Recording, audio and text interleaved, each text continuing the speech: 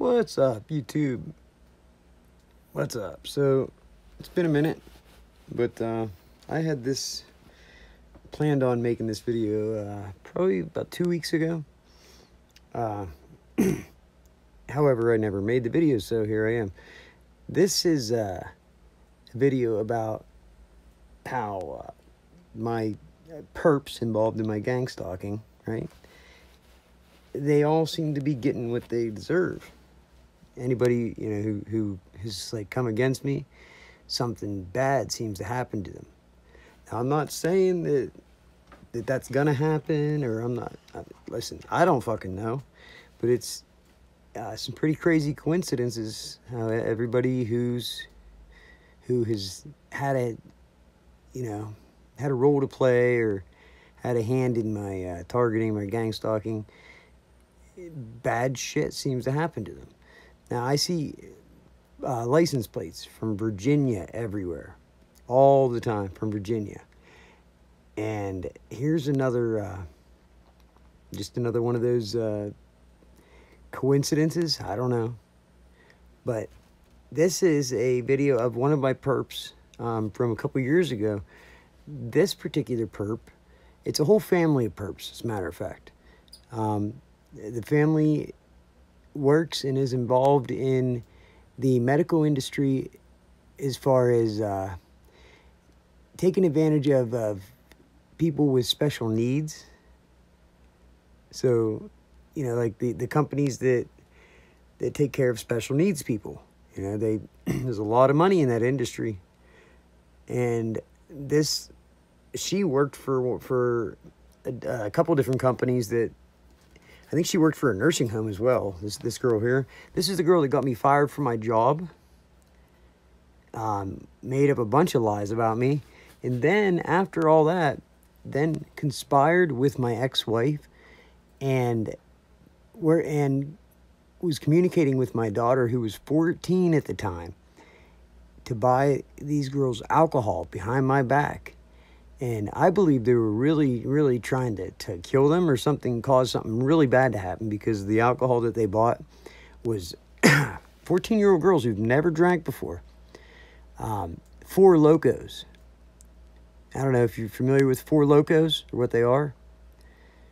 Uh, let's just say, put it this way: they they ban them on on certain college campuses because it's got so much alcohol in it and energy drink mixed together that's what they chose to buy for these 14 year old girls. In addition to Mike's Harder lemonade, like 8% alcohol. The Four Lokos were like 12% or something like that. And they're big 24 ounce cans.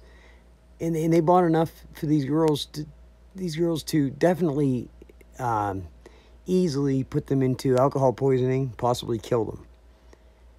And it was all conspired with my ex wife to do all this behind my back, right under my nose. Okay, so and it didn't make any sense. Um, this this chick here, I got them helped them with a place to live. I helped her with a job. I gave her a ride to work every day for a year and a half. I actually thought this person was my friend. I confided in this person, told them things I didn't tell anybody else.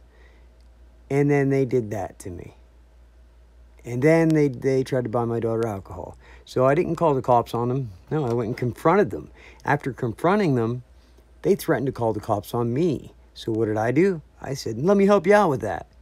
And whenever I was on the phone with 911, um, her, her boyfriend, um, while I'm on the phone with 911, assaulted me twice.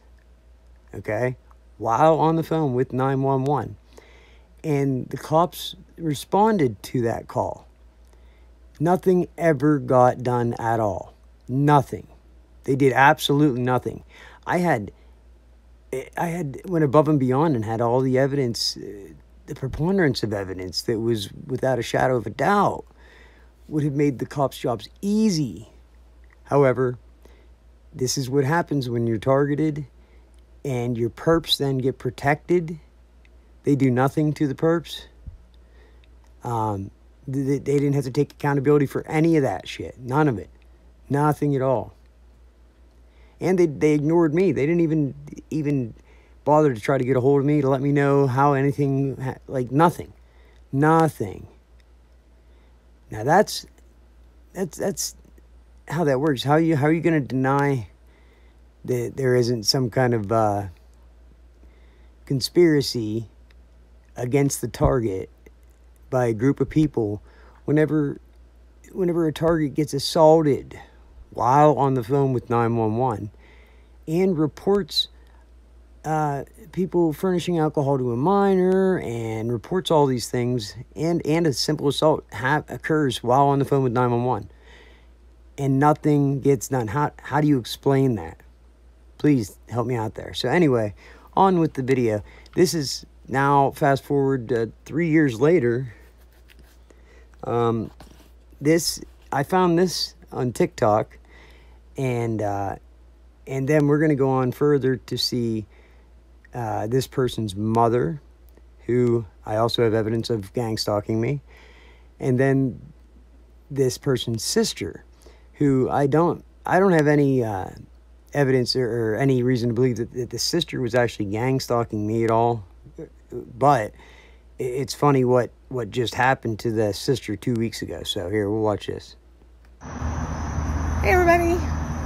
Um I decided to make this TikTok a like a video blog, I guess, about my life.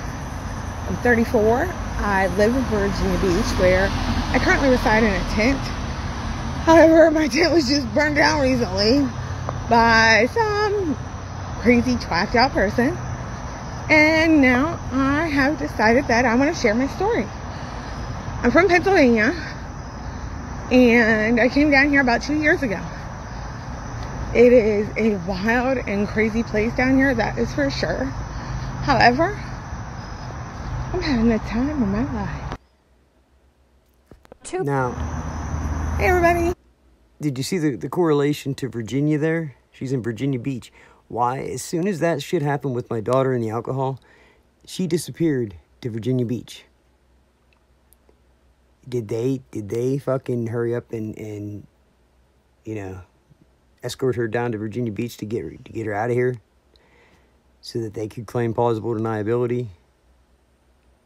I don't know, because I, as far as I knew, she had no ties whatsoever to anybody in Virginia or Virginia Beach. I worked with this chick every day for almost two years. I mean, you know, make it make sense, right? And it's really close to, uh, what, Ashburn, Virginia? Ashburn, Virginia is where uh, a lot of my uh, internet traffic gets routed through. Like, no matter what, no matter what, it always goes through Ashburn, Virginia. And it's real close to where she's at as well. And my Facebook account was hacked, as a matter of fact. The location from the showed up as somebody logged into my um, Facebook account from not Ashburn, Virginia, but Virginia Beach, Virginia. Now, what do you know? And that was shortly after this, or right around this same time, as a matter of fact. So why would she have to make a, a video blog uh, from Virginia Beach, right? So shit rolls downhill. And at the end of the day, these low-level perps are the, are the ones that are going to get in trouble for this shit. So the the people in charge or the people you know, higher up, I guarantee you they, they set up little things for these people to make sure that they can then blame things on them. So they wanted her to make a video blog, right? I believe they wanted her to do it. That's why, because there's this is the only video on there. She makes this one video and that's it. But there's her proof that she's in Virginia Beach during that same time that my shit was hacked right at that same time. Isn't that funny? They probably made her do that that way, if, if I dug up any deeper and they had to go pointing a finger at somebody, they could blame her, right? So let's move on to the next one. This next one is what just happened to her sister two weeks ago. Two people in Johnstown are pleading guilty to federal tax violations, fraud and money laundering charges for failing to pay taxes and stealing money from a business one of them worked for. Yeah, the criminal complaint says that 38 year old Sarah Stiles was vice president of Life Changing Support Services, or LCSS. a company that provides housing to individuals with intellectual disabilities, and she was in charge of filing taxes for the business. Now, Stiles admitted she failed to pay over $20,000 in payroll taxes and over $2 million in employment taxes from 2013 to 2019. The complaint also says Stiles stole over $55,000 from the LCSS by directing payments to a fake company called Stonewall Business Management, which was controlled by 52-year-old David Bachik. Now, Bachik would receive the money and then divide it between Stiles and himself. Stiles and Bachik's sentencing is scheduled for early December. Federal law states that they'll face maximum sentences of 20 years in prison. So Two people in Johnstown are. I just think that's funny because uh, karma's a bitch, and and shit always catches up to you. I remember Carrie telling me about this. Carrie is the the first perp I showed you. Uh, I remember Carrie telling me about her sister doing this back in 2018, 2019. So she was aware of her her doing this, laundering money out of her company, and stealing money, taking.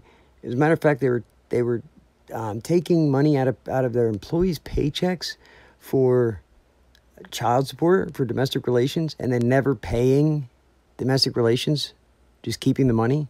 So they, they didn't mention that in that news story, but I remember her saying that was for domestic relations. How does somebody, in what world does somebody think they, they would be able to get away with something like that? Unless they are working with certain people in positions of authority who maybe assured them that they'd be able to get away with it or something. I don't know.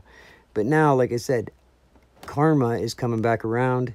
These low level perps are getting thrown under the bus and they're getting taken down. Um, like that, that first perp, Carrie, she already lost her girls, her two girls, years before that. And then she had like three or four other kids. And whenever I was working with her, and I hope, hopefully, I hope they finally took those kids as well because it was, I mean, it was sad um, what those kids had to witness and what they, you know, what they might have gone through. And then I don't know if they got drugged down to Virginia or not. I don't know what the deal is there. I just know I have a picture of the boyfriend passed out in the middle of, in the middle of uh, town, in the middle of public, passed out in the middle of the day with his kids, like little baby crawling on him. And kids like like hanging on him. And he's passed out fucked up.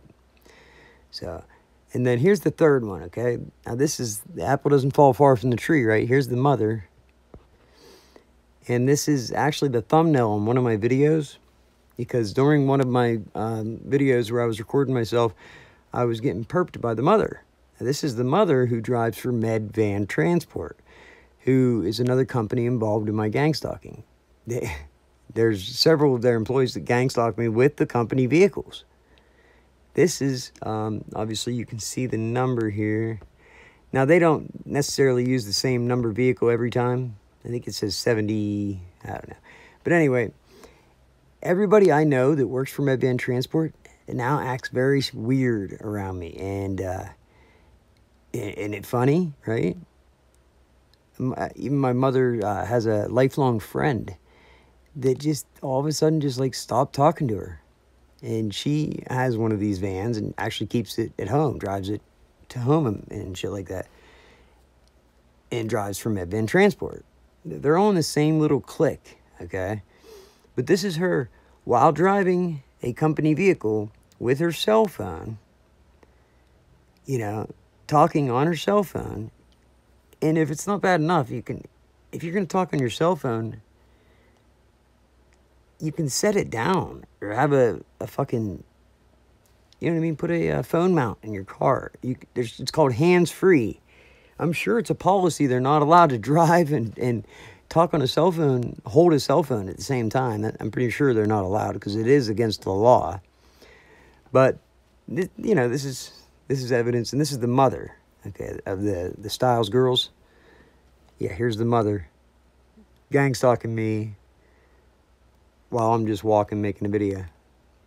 I don't know if she, these people are that stupid they think that like they're not going to get exposed or something. Now what she's doing is is I was going to say it's not like she's engaged in illegal activity, but she is engaged in an illegal activity. And there's the proof of it. But what are you going to do? These people just have it have the mindset that they can do whatever they want and get away with it. So hopefully these latest um, examples, um, I'm seeing a lot more than that. Just I just wanted to point these, these things out. Here's a family of perps, family of my perps, and you know the karma is coming back around. So with that being said, be good or be good at it. Peace out.